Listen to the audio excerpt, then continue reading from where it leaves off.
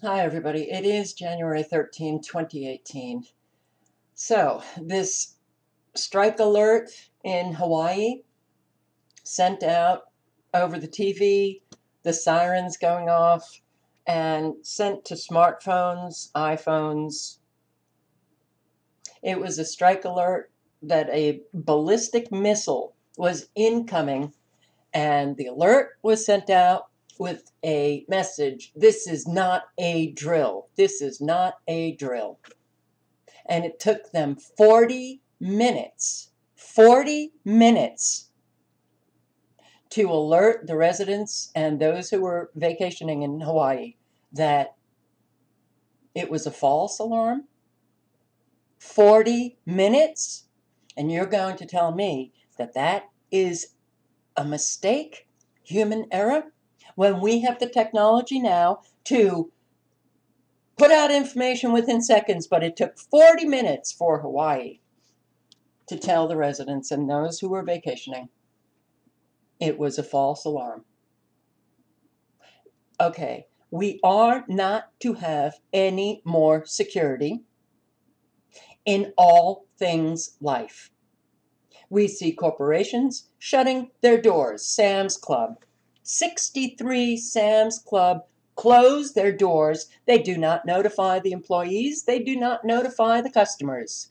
You are now to think, okay, I'm going to go to the store. Hell, I don't even know if it's going to be open or closed. Employees going to work. Well, I'm going to get dressed and I'm going to go to work, but I don't know if I'm going to have a job.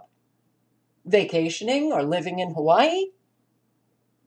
Next time you get a strike alert, how are you going to know if it's real or not? This is all deliberate to terrify, to terrify Americans. Deliberate. I will link below to this video reaction from people in Waikiki to false alarm. People were running all over the place. People were crying. People were freaking out. Um, this one person or these adults. Putting this child in a storm drain? Okay, the frightening thing for me is that when we have these kinds of experiences, we get to see how freaked out so many people are. Now, if they had their wits about them, they wouldn't be so freaked out.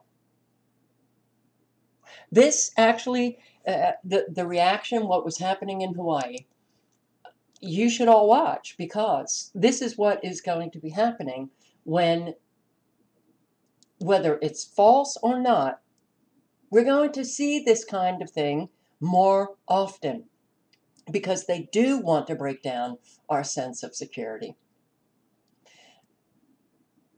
You know, when people know who they are, when they're integrated souls, and certainly when they've given up that willful ignorance and have decided to actually face reality, and when they know what is actually taking place,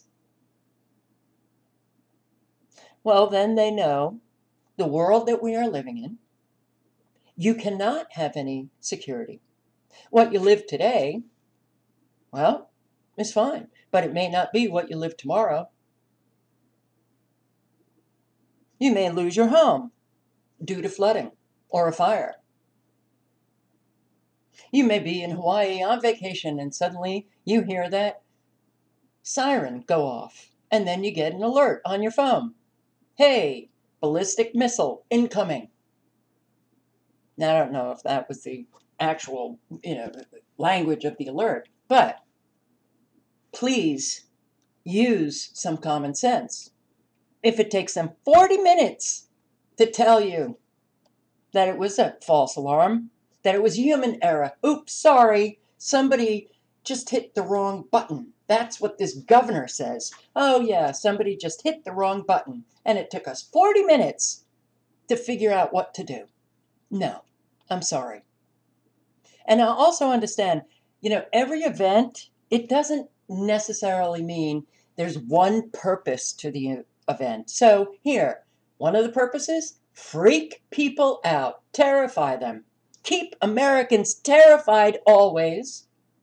The other may be to let you know that humans are now failing often. Human error, human error, human error.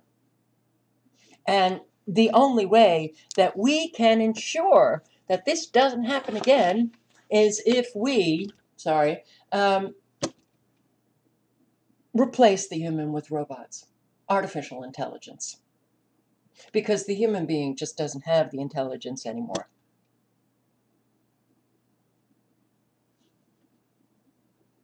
I posted this video. It's two hours long.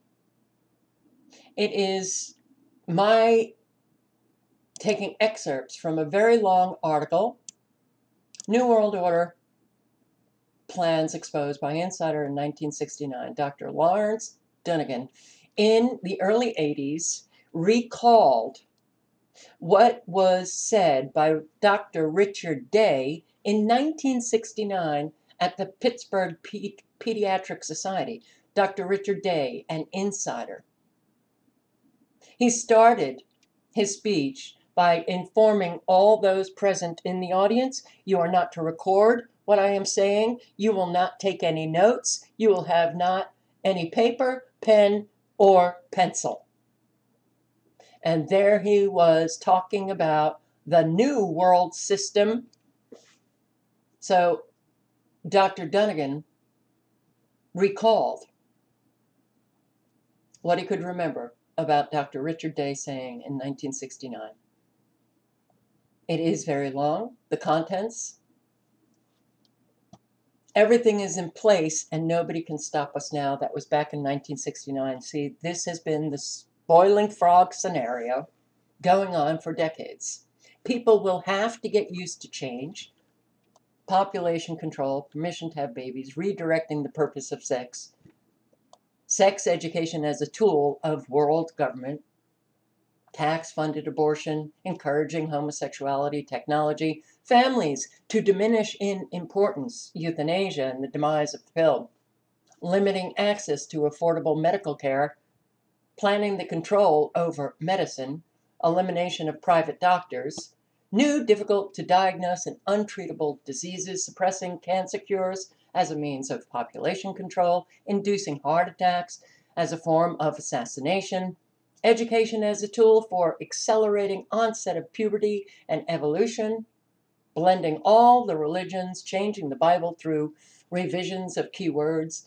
The churches will help us, restructuring education as a tool of indoctrination, more time in schools, but they won't learn anything, controlling who has access to information, Books will disappear from the library, laws will change, encouragement of drug abuse and alcohol abuse to create a jungle atmosphere, restrictions on travel, need for more jails, and no more security.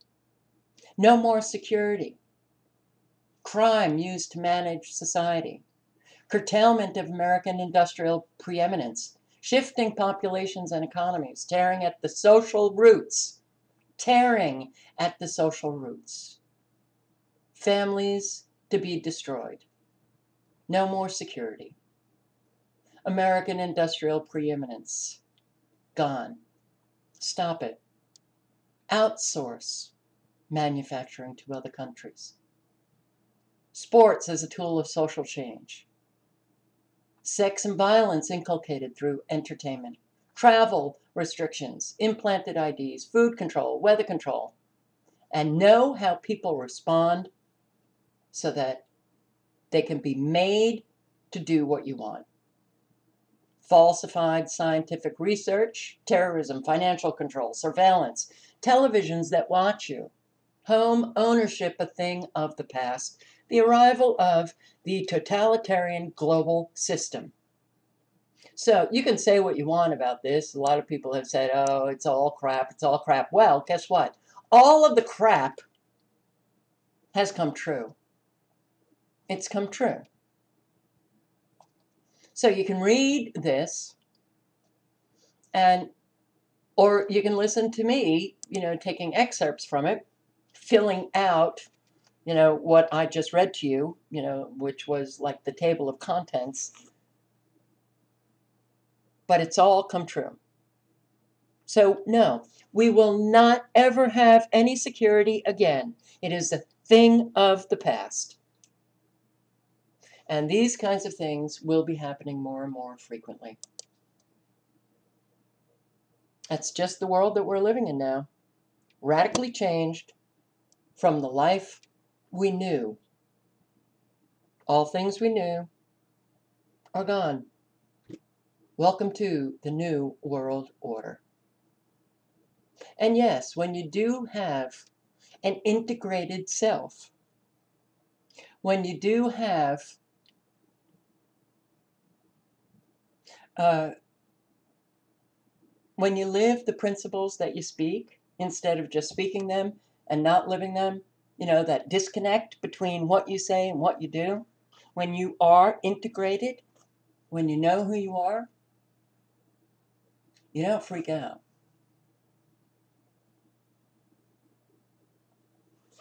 All links are below.